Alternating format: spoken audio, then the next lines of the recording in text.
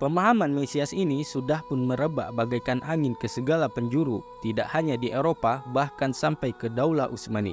Peristiwa ini dimonopoli oleh Yahudi Dumama. Dumama diambil dari bahasa Turki Dumamak yang berarti murtad atau pelin-pelan.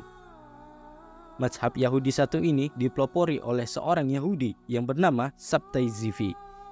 Pada tahun 1648, tersebar isu bahwa akan muncul Al-Masih yang akan memimpin umat Yahudi untuk menguasai dunia yang berpusat di Al-Quds. Oleh karena itu, Palestina akan menjadi pusat kekuatan Yahudi dalam memimpin dunia. Mendapat momen yang tepat, Sabtai Zivi memanfaatkan keadaan untuknya mengaku sebagai Mesias yang dijanjikan. Pengakuan ini mendapat dukungan kuat dari Yahudi yang ada di Palestina. Bahkan keyakinan ini merebak hingga ke seluruh penjuru Eropa seperti Polandia, Jerman, Belanda, Inggris, Afrika Utara dan wilayah berdekatan.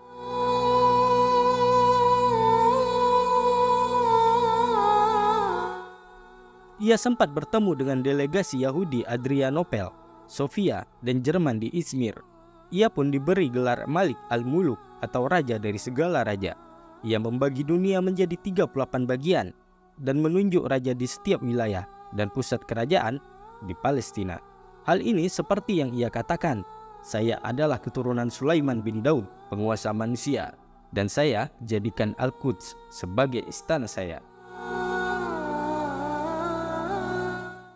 Sabtai Zivi semakin menjadi-jadi. Ia dengan berani menghapus nama Sultan Muhammad IV dari khutbah Jumat dan mengaku lebih layak atas singgasana dunia. Hal ini membuat murka para rabi-rabi Yahudi Ortodok atas kesesatannya. Bahkan Daulah Utsmani mulai melirik gelagat Mesias satu ini.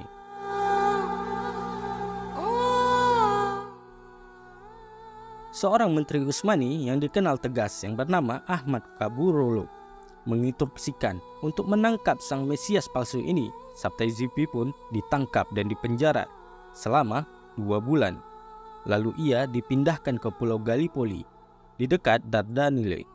Namun orang-orang Yahudi di seluruh penjuru dunia masih mengunjunginya meskipun dengan persyaratan yang ketat.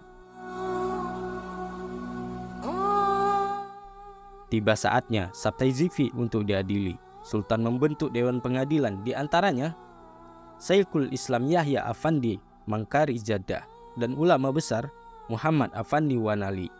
Sultan langsung menginterogasi Sabtai Lewat penerjemah, Sultan berkata, Jika kau adalah Al-Masih, maka tunjukkan mujizatmu. Kami akan melepas pakaianmu, sedangkan anak panah akan dilontarkan oleh pemanah kami ke tubuhmu. Jika anak panah tidak menyentuh tubuhmu, maka Sultan akan menerima pengakuanmu. Sang Mesias palsu ini tidak berani dan menjawab bahwa itu hanyalah fitnah yang dilontarkan kepadanya. Maka pengadilan Utsmani memintanya untuk bertobat. Ia ditawarkan Islam, ia pun menerimanya dan mengganti namanya dengan Muhammad Aziz Afandi. Dan ia meminta agar Sultan melepaskannya untuknya berdakwah kepada para pengikutnya agar menerima Islam. Singkat cerita, keislamannya ini hanya sebatas mulut, bukan karena iman yang sesungguhnya. Ia memanfaatkan momen ini untuk lebih ekstrim lagi untuk meyakinkan orang-orang bahwa ia adalah Mesias yang dijanjikan tidak hanya itu, Sabtai juga diam-diam bekerja sama dengan Zionisme dan dia orang pertama yang memberi kabar gembira akan kembalinya Bani Israel ke Palestina. Ia berpura-pura soleh di hadapan orang-orang Turki namun menggigitnya dari dalam. Ini bukanlah tentang ketaatan kepada Nabi Musa ataupun keyakinan ortodok Yahudi, namun ini jelas gerakan politik. Hal ini dibuktikan dengan penangkapan yang kedua kalinya di ruang peribadatan. Kala itu, ia dan pengikutnya di Kuri Jashmah sedang melakukan hal di luar nalar. Ia memakai pakaian Yahudi dan ia menyanyikan lagu sambil membaca Mazmur serta dikelilingi oleh wanita sambil menenggak minuman keras. Penangkapan ini dilakukan oleh Utsmani bersamanya juga para rabi-rabi Yahudi yang sudah kesal akan tingkah laku Mesias satu ini. Konon ia dijatuhi hukuman mati jikalau bukan karena Syekhul Islam yang menolak hukuman itu baginya. Syekhul Islam berkata, andai saja si jahat ini dipancung, maka akan menyebabkan kurafat di Spanyol, sebab pengikutnya akan menganggap ia telah diangkat ke langit.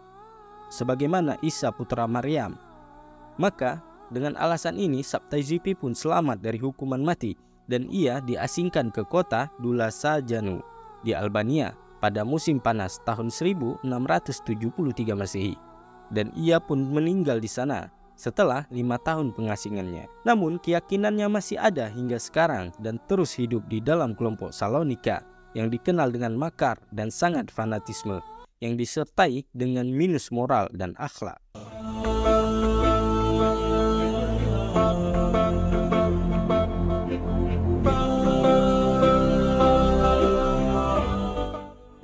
Beberapa kutipan sejarah tentang orang-orang yang mengaku sebagai Mesias atau juru selamat di akhir zaman. Dari sejarah ini pula tergambar bahwa kemelut serta pusingnya mereka dalam menentukan akidah serta kaidah dalam beragama, menjadikan Allah satu-satunya Tuhan namun digambarkan tiga, tidak mengakui kebenaran Mesias yang telah pun dilahirkan di muka bumi, yang membawa Al-Quran sebagai penerang di tengah kegelapan. Namun, apa yang terjadi selalu mereka dustakan Apakah mereka tidak tahu? Tentu jawabannya tidak. Ingatlah firman Allah Subhanahu wa taala, orang-orang yang telah kami beri kitab Taurat atau Injil mengenalnya Muhammad seperti mereka mengenal anak-anak mereka sendiri. Sesungguhnya sebagian mereka pasti menyembunyikan kebenaran padahal mereka mengetahuinya. Al-Qur'an surah Al-Baqarah ayat 146.